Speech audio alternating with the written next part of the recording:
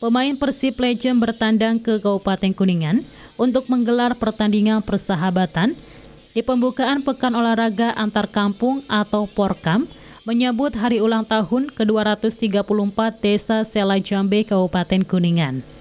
Kedatangan Persib Legend disambut antusias ribuan boboto pada Minggu sore 30 Juli 2023 di lapangan Gintung Raya.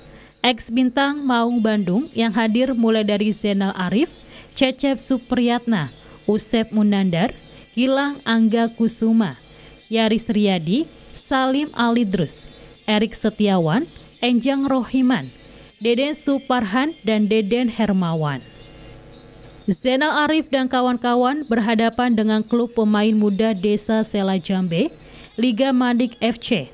Selama 90 menit bertanding, Zainal Arif berhasil mencetak dua gol.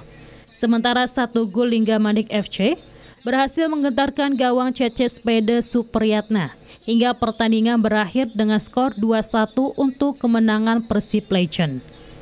Kepala Desa Sela Jambe Suhedi mengungkapkan, pendapatan tiket dari pertandingan ini digunakan dalam kegiatan awal.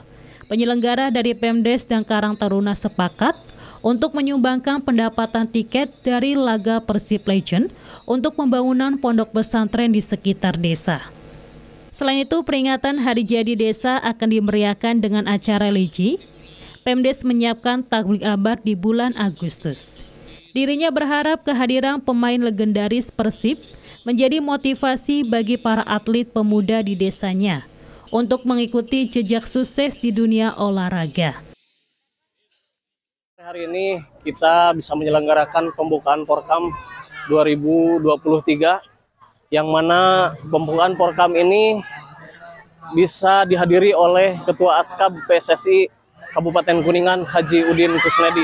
Dan dalam kegiatan sore hari ini, panitia masyarakat Selai Jambe pada kegiatan Porkam tahun 2023 mempertandingkan 18 cabang olahraga.